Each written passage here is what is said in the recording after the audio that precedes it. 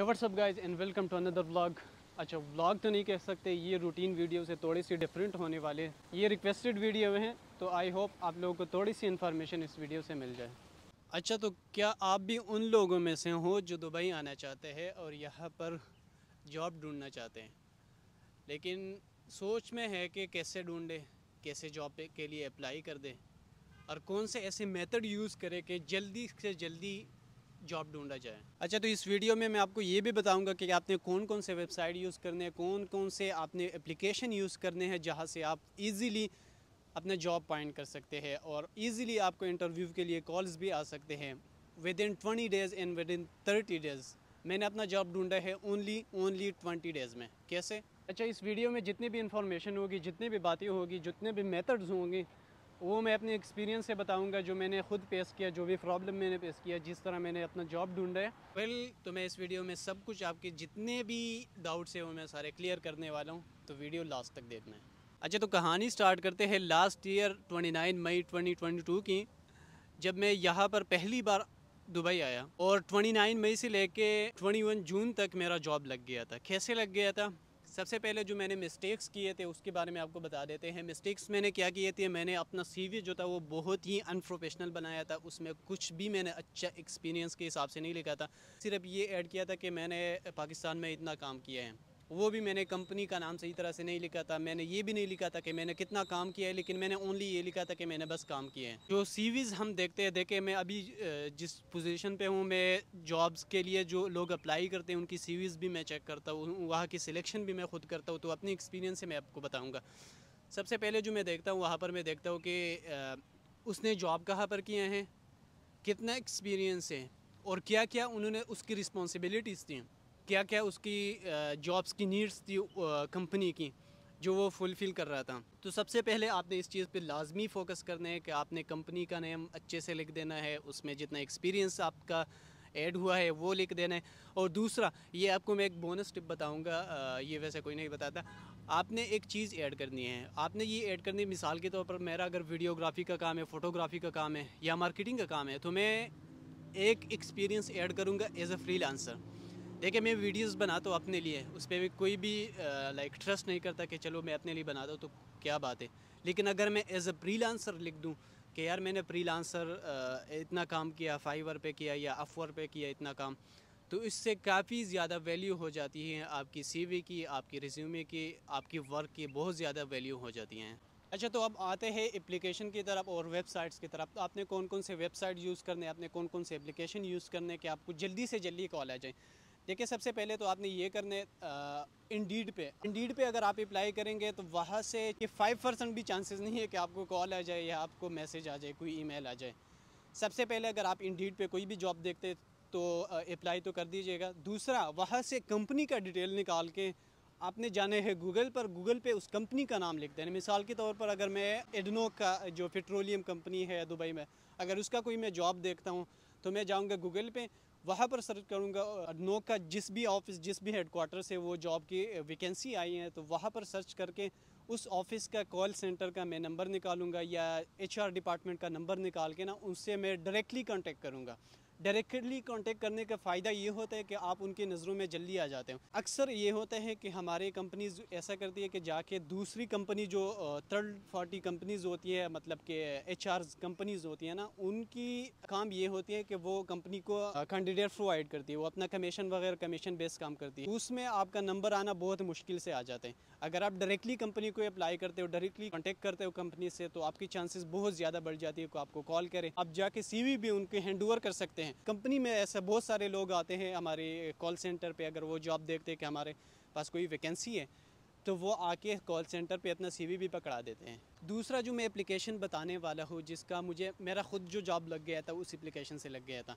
उसका नाम है मोरजान। मोरजान का आप गूगल पे जाएँगे तो इतना रिव्यू नहीं है, ये एंड्रॉयड के लिए भी है और एप्पल के लिए भी है ये एप्लीकेशन लोग समझते हैं कि ये बिल्कुल अनप्रोफेशनल सा है, थोड़ा ईजी वाला है।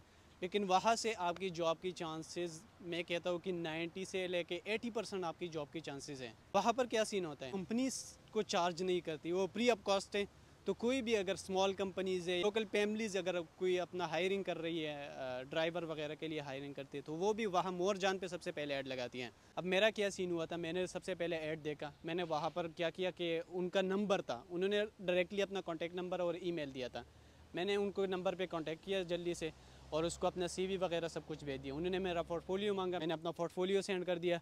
दूसरे ही दिन कॉल आया कि आप इंटरव्यू के लिए आ जाऊँ मैं जैसे ही इंटरव्यू के लिए गया, वहाँ पर मेरे एक नॉर्मल सी इंटरव्यू हो गई तो इंटरव्यू होने के बाद उन्होंने कहा कि आप हमें एक, अपना जो काम है उसका टेस्ट दे दे कि आप कैसे कैसे काम करते हैं। तो उन्होंने मैं, मुझे कैमरा वगैरह पकड़ा दिया और एक लोकेशन पे भेज दिया जहाँ पर एक विल्ला था।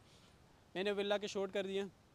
शूट करके मैं वापस आ गया, उनको जितनी भी फोटेजेस थे, जितनी भी फ़ोटोज़ थे, वो मैंने सारे उनको डिलीवर कर दिए। नेक्स्ट डे उनकी दोबारा से कॉल आई कि आप फाइनल इंटरव्यू के लिए आ जाओ। अब फाइनल इंटरव्यू अब final interview this is the very very important final interview में होता क्या है? वीज़ा की जितनी भी बातें होती है, वहाँ पर डिस्कस होती है। दूसरा, आपकी सैलरी की बात होती है वहाँ पर। तो सबसे इंपॉर्टेंट यहाँ पर है। अब सैलरी में सीन ये आ जाता है, अगर आपको अपनी काम पर भरोसा है कि यार ये काम मुझे मिल जाएगी तो आपने सैलरी की डिमांड अच्छी खासी करनी है। वो फिर जितनी रिक्वायरमेंट होगी, वो आपको बता देंगे कि हम इतना तक जा सकते हैं, इतना जा, इतना तक जा सकते हैं। लेकिन अगर आपकी जॉब की डिमांड कम है तो आप उनको जितना कम से कम हो सकता है, उतना सैलरी बता दें, क्योंकि आपने सबसे पहले तो यहाँ पर एक्सपीरियंस गेन करना है।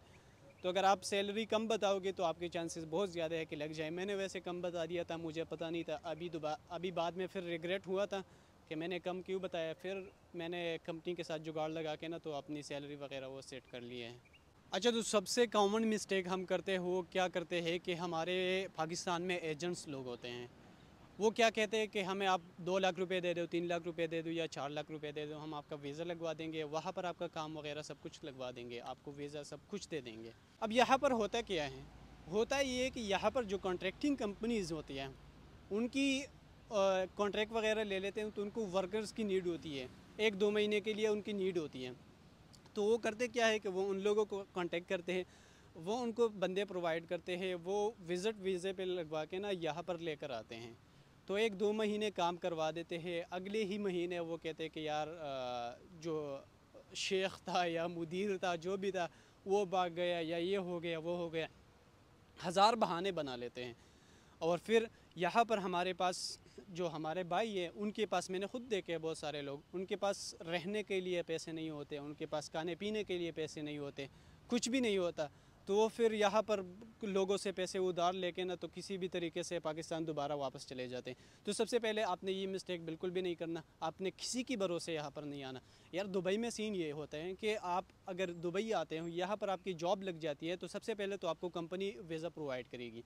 वो बिल्कुल फ्री ऑफ़ कॉस्ट जैसा अलहमदिल्ला मेरा लगे तो अगर कंपनी प्रोवाइड नहीं करती, उसमें थर्ड पार्टीज़ इन्वॉल्व होती है तो आपसे करते हैं हाफ़ अमाउंट आपसे चार्ज करते हैं। लेकिन आपका वीज़ा कंपनी की तरफ़ से लगवा लेते हैं। कंपनी का ही वीज़ा होता है परमानेंट वीज़ा होता है। ऐसा नहीं होता कि एक दो महीने काम करके दोबारा से आपको फारग करवा देते हैं।